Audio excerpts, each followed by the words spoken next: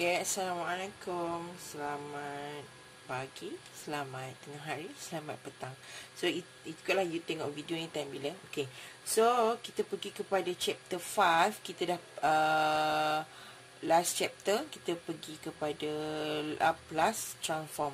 Now kita pergi kepada inverse Laplace transform. So, you bayangkan like kita ada like macam function Like kita ada inverse function ataupun function sons apa fungsi fungsi, uh, fungsi songsang ataupun maybe daripada uh, apa tu uh, apa dia macamnya in term of uh, satu kita uh, derivative satu lagi kita integration. So macam itulah kita maksudnya kita akan inversekan daripada satu uh, orang kata apa functional of satu functional in mathematics kepada uh, backward lah. Alright kita bagi pada okey sebelum ni kalau kita kata untuk Laplace transform so kita daripada function of kita ada function of t. Okey kalau kita kata inilah kita sebut dia kita akan pergi kepada fs maksudnya kita kepada function of s lah. Okey tapi kalau untuk inverse Laplace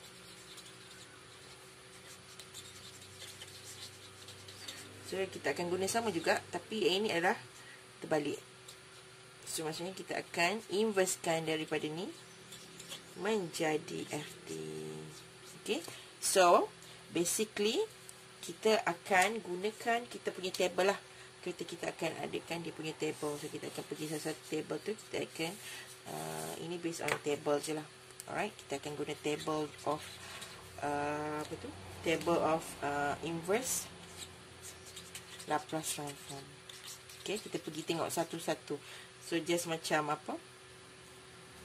Laplace transform. Okay. So, you selalunya kita letak kat sini Fs kan. So, sekarang kita letak Fs sebelah kiri lah. So, maksudnya daripada Fs kepada kepada Ft. Okay, so ini kena uh, dia akan diberilah okey maksudnya you akan akan uh, apa tu? Refer as uh, macam reference tu adalah alright so tak payah nak. Tapi kena tahulah yang mana satu nak gunalah okey so masa contoh kita ada a ataupun sebelum ni kita ada k per s kan?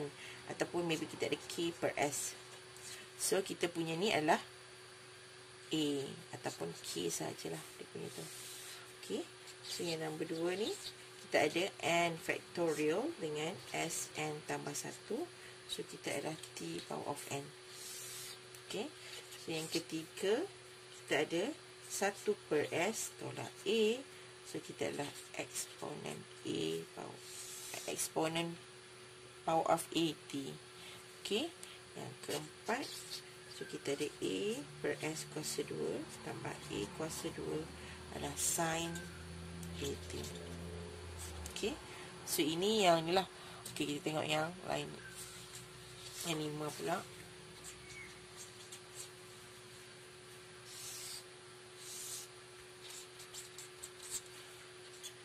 Yang kelima kita ada S over S over sama juga dengan cos AT. Okey. So yang keenam So kita ada A over sin 2 sin fish 80. Okay, dan kita ada yang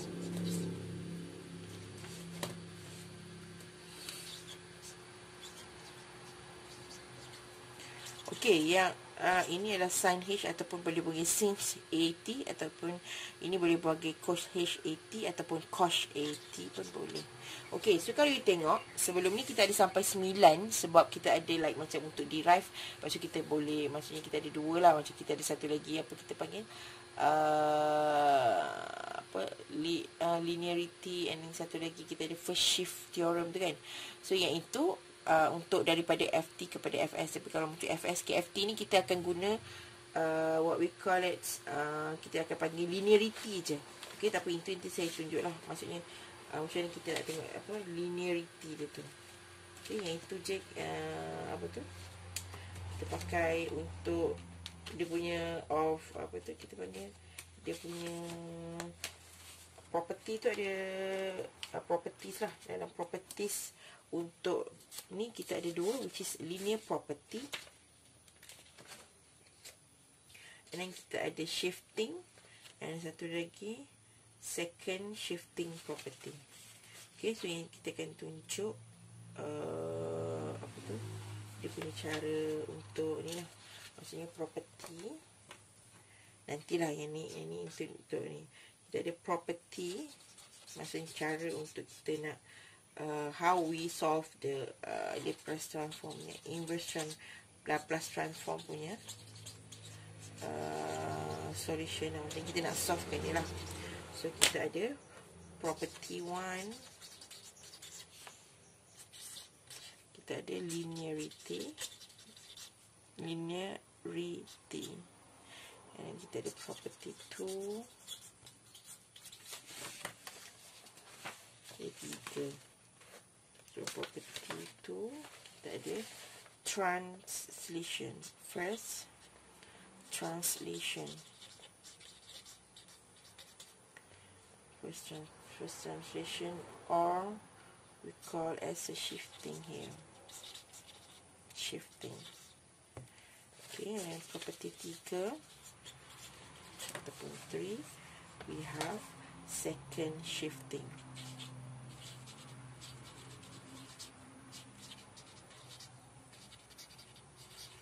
Okay, kita akan go one by one macam mana kita nak gunakan cara untuk apa uh, inverse apa inverse Laplace transform tu guna method apalah. Okey. So kita akan pergi tunjuk uh, beberapa contoh daripada yang simple punya ni kepada maksudnya how we find we must find the uh, inverse Laplace transform. So kita tengok contoh dia. Okey.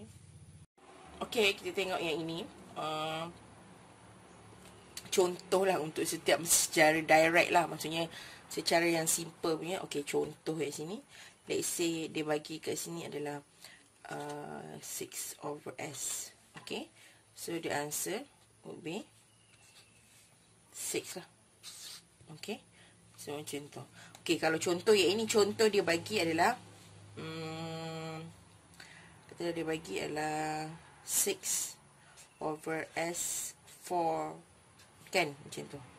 Okay So macam ni kita nak tahu So kita tahulah macam ni adalah N tambah 1 sama juga dengan 4 So N adalah 3 lah. Alright kalau kita check balik Ini adalah 3 Per S 3 tambah 1 lah. Ataupun kat sini adalah 1 darab 2 darab 3 Bahagi dengan S kuasa 4 So dapatlah 6 per S kuasa 4 So N dia adalah berapa? 3 So will be T over eh, T over. T power of 3 Okay, ini contoh lah. Okay, ini contoh. Okay, kalau contoh yang lain Contoh katakanlah ini pula. Alright, dia bagi Satu. Nanti kita bagi untuk setiap satu. Maksudnya kita akan pergi tengok Untuk yang particular. Ini secara like uh, dalam table tu lah. Alright, kalau contoh dia bagi S uh, 1 over S Tolak um, 3 for example So, dekat sini A dia adalah T 3. Okay.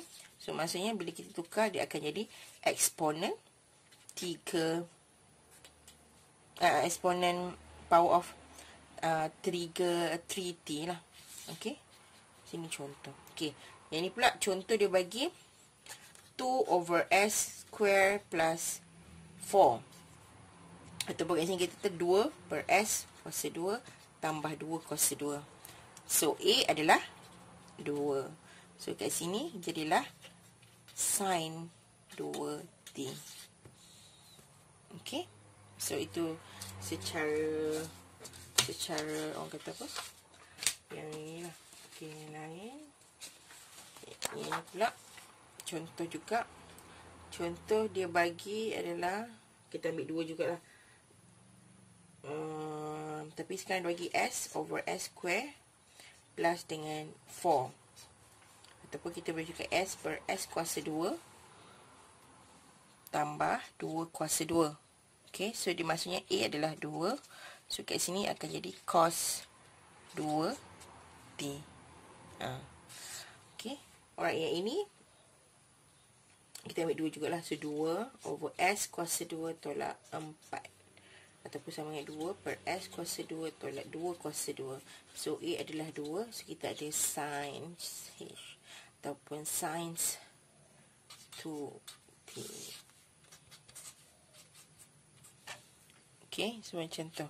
Okay, ini pula. Katakan uh, kita ada S over dengan S kuasa 2 tolak dengan 4 ataupun S over S kuasa 2 2 kuasa 2 so A adalah 2 so ini adalah cos ataupun cos cos H 2 T.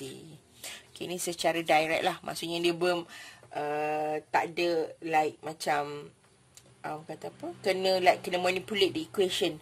Okay so ini direct. Okay kita akan tengok uh, based on tu apakah dia punya contoh-contoh yang lebih uh, lain lah.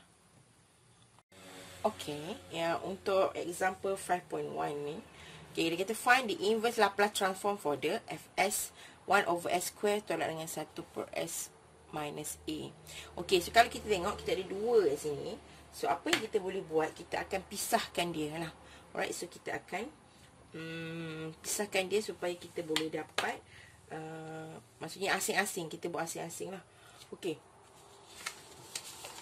Okay, so ini Maksudnya kita boleh buat macam ni lah. Maksudnya inverse plus transform.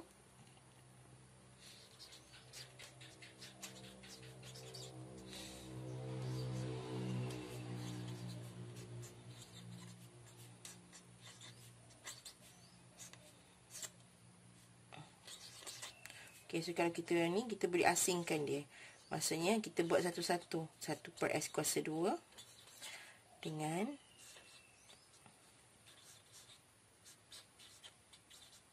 kita tak boleh buat sekaligus lah. Alright, so yang ini kita tengok ada tak yang uh, 1 per S kuasa 2? Ada tak S kuasa 2? Ada tak S kuasa 2 kat situ? Okay. S kuasa 2. Kalau macam S ni tak boleh guna. So yang ini semua ada uh, plus minus. Maksudnya yang ini ada S tolak 2. S, tam, S kuasa 2 tambah A2. Ini pun semua ada ni. So, yang kita boleh ada adalah yang ini je lah possible, nombor dua. So, macam mana nombor dua tu kita nak buat macam ni untuk dapatkan dua.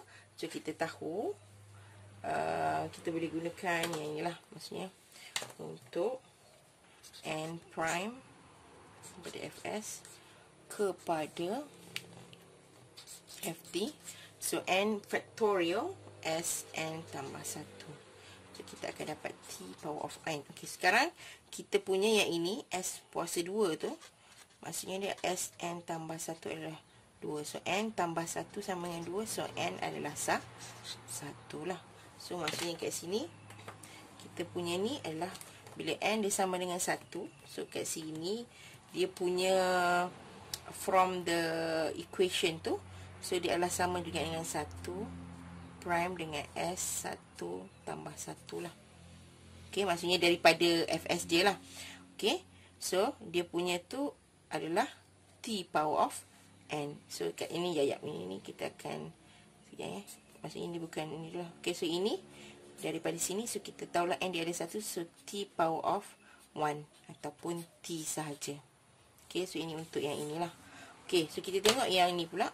So sat, uh, satu per S tolak A. Yang ni direct sebab dia tak ada uh, apa orang panggil? Dia tak ada off uh, nilai tu. So kita boleh tengok direct terus kat sini kita akan nampak yang ini adalah yang nombor T 3. 1 per S tolak A. Okay, so 1 S tolak A. So kalau kita bawa ke sini dia adalah sama juga dengan eksponen AT. So maksudnya sekarang yang ini adalah T power of 1 ataupun T kuasa 1 ataupun T sahaja. And then dia punya yang ini adalah eksponen AT. So kita bolehlah kita punya so, uh, jawapan dia adalah juga sama juga dengan T tolak dengan eksponen AT. So this is the answer untuk kita punya yang uh, inilah 1 per S kuasa 2 tolak dengan 1 S tolak A. Okay. Itu cara dia untuk dapatkan dia punya ni. Okay. So kalau dia ada dua, kita pecahkan dia dulu. Lepas tu baru kita uh, cari satu persatu lah. Okay. Untuk example uh, 5.2, kita ada tiga, kita ada maksudnya dia ada empat soalan. So kita ada A, 3 per S kuasa 2 tambah 9. And then we have uh, macam mana kita nak tengok kan. So kita akan tengok yang ada S kuasa 2 tambah apa tu. Guys, kita ada dua lah. So, kita ada, uh, which is kita ada, uh, kita ada empat dengan lima. Tapi, yang ini ada A, yang ini ada S. So, tak boleh guna lah sebab S. Sebab S tu, dia un, kira apa, unknown ataupun dia punya, uh, tu. So dia takkan mas perlukan. So kita perlu kita boleh refer kepada um, empat. So kita tengok yang empat. So kita tengok yang empat ni kita ada a per s kuasa 2 tambah a kuasa 2 So kita nak check betul tak kita punya bawah A tu sama atas bawah? Barulah kita boleh proceed itulah. Maksudnya kalau S uh, A over S kuasa 2 tambah A kuasa 2 ni Sama juga dengan sin A T. Okay. So kita tengok kita punya ni 3 per S kuasa 2 tambah 9 sama dengan A per S kuasa 2 tambah uh, A kuasa 2. Alright. So kita tengok. Betul tak A kuasa 2 sama juga dengan uh, 9. So A adalah 3. So A kuasa 2 adalah 3 kuasa 2 adalah 9. So maksudnya betul lah kat sini A 9. So, kita bolehlah gunakan kita punya A tu adalah 3 masukkan dalam tu. So, dia punya uh, apa final equation dia dapatlah bersamaan juga dengan sin 3 D. Hmm, okay, so dia kena check dulu. So, sometimes maybe atas dengan bawah tak sama. So, kita kena, uh, orang kata apa, kena kena tentukan balik lah dia original punya, uh, apa tu, soalan. Okay, since kita just double check and barulah kita confirmkan, dia punya tu adalah sin 380. Dia punya sebenarnya yang ini dia punya ni adalah macam inilah. So 3 per S kuasa 2. Kalau dia full punya uh, apa cara penulisan dia adalah sama macam ni. Okay. So this is it. Yang first. Okay, kita tengok contoh yang lain. Okay, yang B ni dia kata FS sama dengan S minus 7. Okay. So, iaitu, kalau kita tengokkan, uh, inilah maksudnya. 3 per S tolak 7. Okay, so apakah jawapan dia? Okay, kita tengok ya. Mana yang ada S tolak dengan number lah. Alright, so kita boleh tengok dalam table. So, yang S sahaja adalah yang ini. So, yang nombor 3 ni. Alright, so kalau kita kata tengok kita kan kita punya FS dia adalah 1 per S tolak A. So kita akan dapat dia punya FT dia sama dengan eksponen AT. Okay, now the problem is, not the problem is lah. Tapi dia punya, yang lain kat sini adalah, dia punya ni adalah sepatutnya satu kan. Okay, so kalau kita ada macam ni, so kita umpama kita ada like, uh, apa tu? Kita ada like macam 3x lah. So, kita boleh like keluarkan dia dengan x sahaja kat situ. So, uh, apa yang kita boleh buat adalah kita keluarkan 3. So, kalau macam ni maksud dia. 3. Dia like macam apa dia punya uh, macam constant lah. So, kita keluarkan. So, kan macam kita ada yang sebelum ni lah. Laplace transform tu kita keluarkan dia punya pendarab dia tu. Okay, berkali dia tu lah. So, dapatlah kat sini. Ini siap. Ini adalah 1 per S tolak 7. So, sama takkan dengan ni? So, sama tak? So, sama kan dia ada S tolak A lah. So, now A kita adalah 7. So, barulah kita masukkan kat sini. Lah. Tapi ni kita keluarkan dulu. 3 eksponen 7T. Right? So, ataupun 3 eksponen 7T. Ini kita keluarkan balik. Dia punya tu. So, yang ini penting.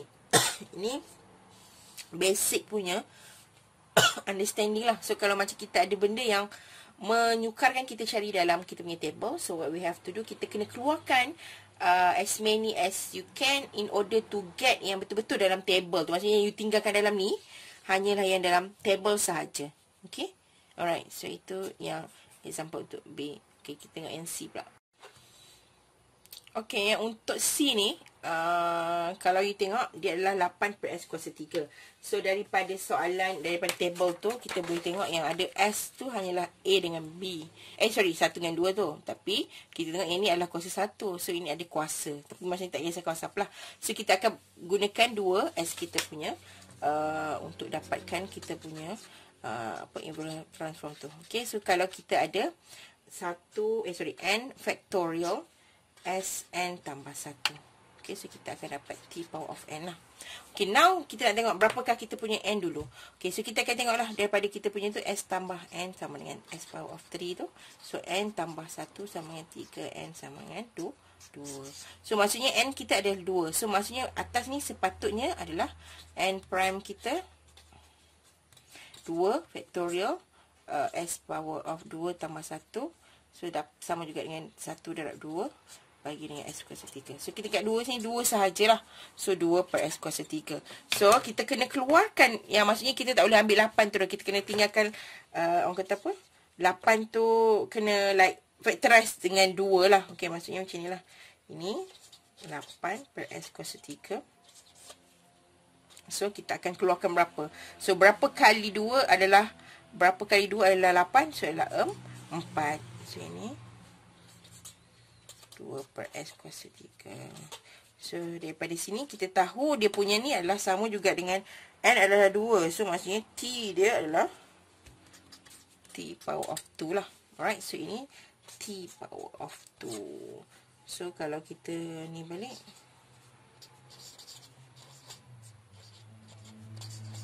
So, dapatlah 4 T kuasa 2. 2. Okay, so kena you kena buat basic calculation dulu before you proceed lah. Maksudnya you just macam imagine akan what should be the macam kita kena keluarkan apa in order to the guide dapat yang ini. Okay, alright. Okay, untuk yang D ni kita tengok Fs dia sama juga 6 per S kuasa 2 tolak 3 kuasa 2. Okay, so yang ini kalau kita nak laplaskan transform dia. Okey, so macam mana? Okey, kita tengok yang itu yang mana satu yang ada S kuasa 2 tolak 3 kuasa 2. Ataupun, apakah yang S, uh, uh, ini kita letak S lah. Kita kena letak yang A S kuasa 2. So, kita boleh gunakan yang E, E6 ni. Okey, so maksudnya lah, kalau kita ada Fs. So, kita ada A over S kuasa 2 tolak A kuasa 2. Dia akan jadi sin H A T. Okey, now kita tengok betul ke kita punya yang ni? Sekarang A kita kalau kita ada 6 per S kuasa 2 tolak 3 kuasa 2 kita akan tengok kat sini lah. Yang penting yang ni tak apa ini kita boleh olahkan dia. Right maksudnya kita akan boleh counting hujung lah. So ini adalah A. So maksudnya A dia adalah 3 Okay, now supposedly kalau A per S kuasa 2 tolak A, uh, A kuasa 3, so there should be like 3 per S kuasa 2 tolak 3 kuasa 2. Okay, so yang ini supposedly dia adalah 3 kat dalam. Maksudnya kat 3 je lah sini. So 3 per S kuasa 2 tolak 3 kuasa 2. So apa yang tinggal kat dalam kat luar ni kita kena uh, factorizekan dia. So 3 kali berapa? 6. So adalah 2. So maksudnya kalau kita darab balik kita akan dapat yang ini tapi kita kena asingkan yang kita perlukan untuk mendapatkan bersama dengan table. So ini kita akan dapat sin H 3 T. So, 2 darab dengan sin H 3 T. Okay, so dia punya yang penuhnya.